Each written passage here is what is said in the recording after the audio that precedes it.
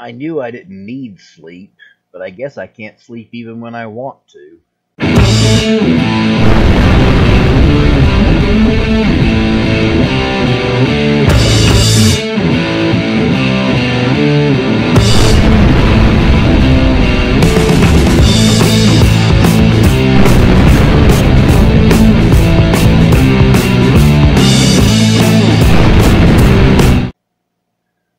Wonder if Dr. Weird could use a sleep spell on me.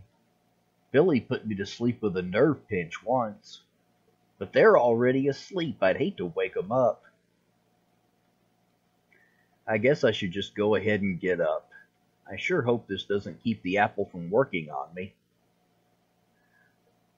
I'll just turn on the light and do some practice. If the apple didn't work, I wonder if Dr. Weird and Donner will be mad and that elf queen, Lily. I guess it's just as well that uh, I didn't win Eris's contest. I wonder what Bigfoot did with his apple. Okay, brain, shut up and focus. If I ever want to be good at Kung Fu again, I'm going to have to train like I never have. Oh my gosh, I remember! I remember everything! I still don't know how I do this, but I can do it again! Lee, it's two in the morning. Why are you making all this noise? Charlie, is that you? Of course it's me. Oh, oh, wow, I got a tan. Well, I wouldn't call it a tan, but you're not as pale as you usually are. But it's not just that. Look, you have muscles. Wow, this is cool. Golden apples are better than gym memberships. Well, gym memberships only work if you go to the gym. Well, now I gotta know, what were you yelling about? I remembered all the stuff that I learned from the teaching machine. I know kung fu, I can drive, I can camp and cook, and, and somehow I can call my nunchucks and use them without my costume. How did you learn that from the teaching machine? I don't know. But I did it in China, and now I can do it again. Many Volsung develop a bond with their favorite weapon that has nothing to do with the teaching machine or the apple. Do you sleep in those clothes? No, I used a spell to change. Now, I know you're excited, but everyone else needs some sleep. If you can't sleep, then do some quiet studying. Yes, sir. I'll try just one more time to get some sleep.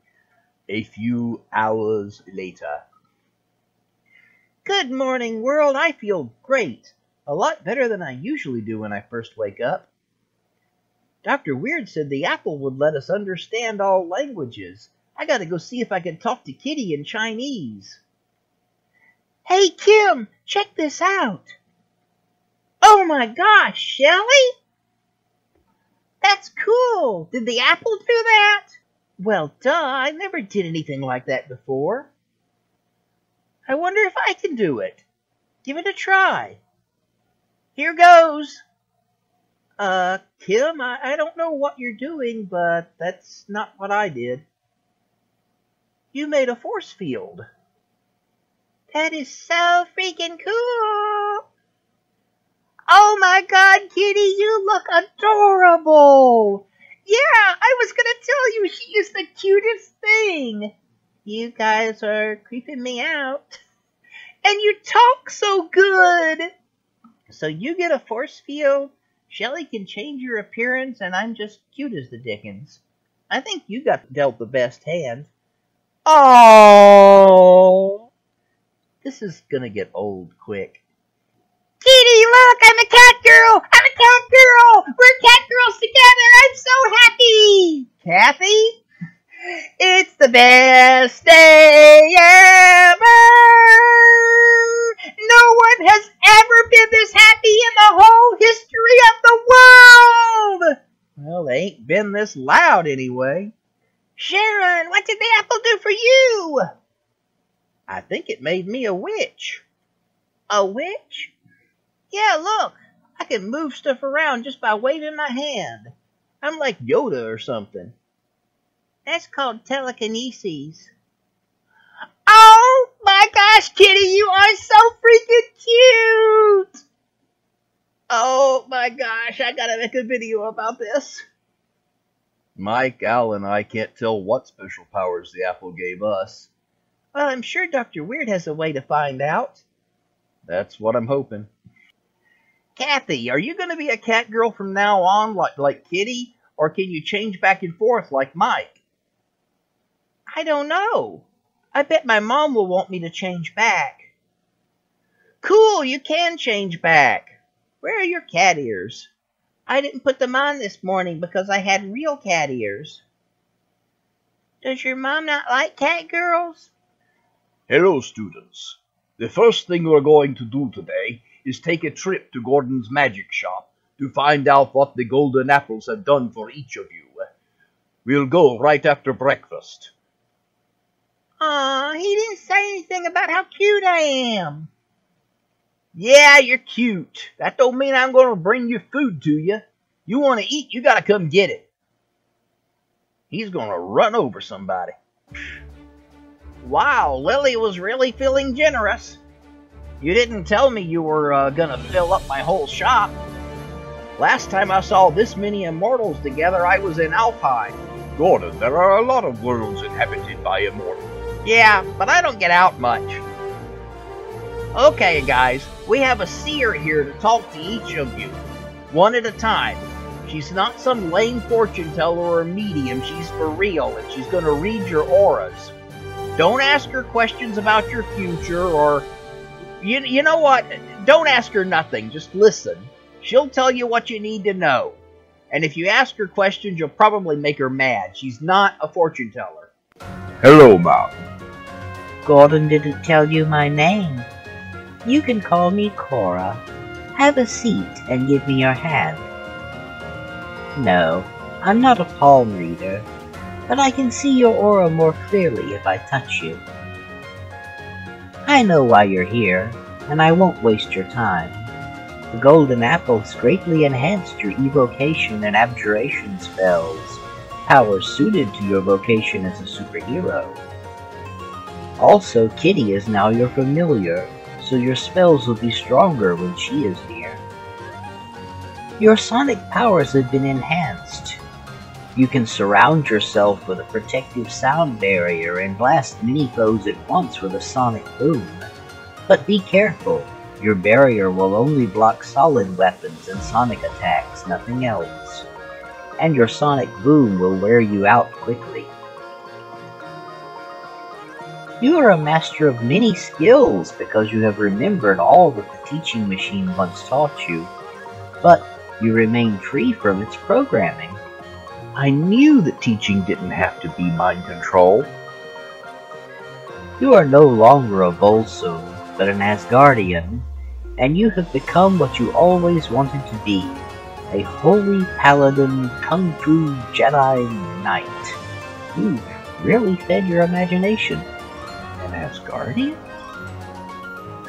You instinctively know how to use all electronic devices, and you're a living battery with unlimited power. Any electrical device you use will stay charged as long as it's in your hands. But remember, if you try to push a device beyond its own capacity, you will short it out. You're a cat girl. Is it all you dreamed it would be? Also, you can talk to cats and understand them. Congratulations. You're a very lucky young lady. Your aura of extreme cuteness will trigger a protective response from all warm-blooded creatures, and the gift of healing that you already had is now much stronger.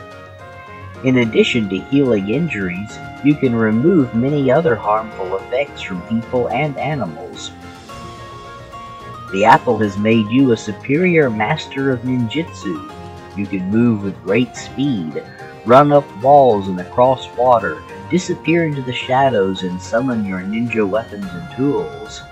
Also, that magical ring is now bound to you, so you can summon it too. You can change your appearance, your clothes, and your voice. You can mimic the appearance of others or make up your own look. No matter how you change your appearance, you will always be the same person inside. Hello, Melissa. I remember seeing you in my dreams. You've had a lot of adventures, haven't you? Well, you're not a little Volsung anymore. Now you're an Asgardian, and your control of dreams is much greater. You can put people to sleep and manipulate their dreams without having to go into them. You can make people talk or walk in their sleep, and they will follow your directions. Your power is in your music. Your guitar is bound to you so you can summon it. Your music can change the mood of those who hear you, making them happy or sad, bold or afraid. Your music can communicate with animals and spirits, and you can use it to aid and heal your friends. You already know about your power, and know you're not a witch, but you should also know that the golden apple always carries a blessing of good fortune, fitness, and charm, not just for you, but for all who eat it. So remember, any time you compete with mortals, you will have an unfair advantage. We are supposed to help them, not compete with them. You are the strongest member of your team, and you can shrug off the most powerful attacks. But be careful, you are far from the best fighter. Don't be too eager to test your abilities. Okay, now that we have a clear idea what all of you are capable of, it's time for Paladin's pals to go after the Shadow Dragon Society. The rest of you stay here for now, and we'll discuss your futures when we return. Hey, Doc, why are you calling us Paladin's pals? I thought we decided to go with the X-Men. I'm sorry, that name is already taken. So we never really got around to picking an official name, and Shelley called us Paladin's pals on her show. Well, I don't think any of us really like that name. Can we pick a new one now? Of course we can. Since we've all received power from the Golden Apples, may I suggest a name that makes a reference to that? How about the Golden Apple Guardians? That's too long. The Golden Heroes? The Golden Guardians. Team Gold? Oh, that's such a cute name! Team Gold! That is just adorable! That's it then. Let's, Let's go, go, Team Gold! I think I'm gonna have fun with this!